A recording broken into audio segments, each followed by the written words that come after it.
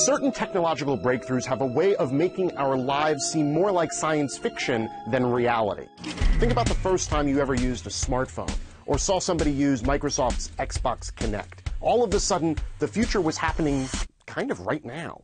These giant leaps have already changed the way we work and communicate. The next step, if a few startups have anything to say about it, is going to be how we take care of our bodies. We soon may be able to diagnose ourselves using tiny sensors and the computing power that's already in our hands.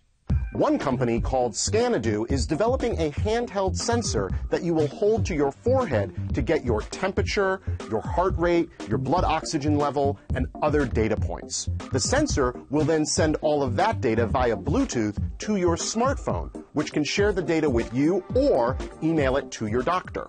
Another company, Cellscope, has developed a mobile accessory called the Oto, which turns your phone's camera into a sort of ear scope put the Oto in your kid's ear, send the video to your kid's doctor, and you may be able to get that ear infection diagnosis and, more importantly, that antibiotic prescription without even leaving home. A third outfit, Mobisant, has developed a smartphone-based ultrasound machine. It costs less than $8,000. A standard ultrasound rig will run you well into the six figures. Already, it's being used in developing nations to provide more accurate diagnoses. Now, there are some skeptics out there.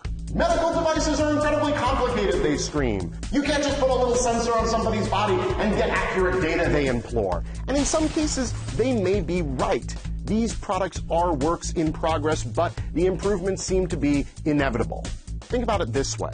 10 years ago, we barely knew what a smartphone was, and now we're talking about driverless cars. If you look at the history of the future, one thing seems clear. It's happening faster.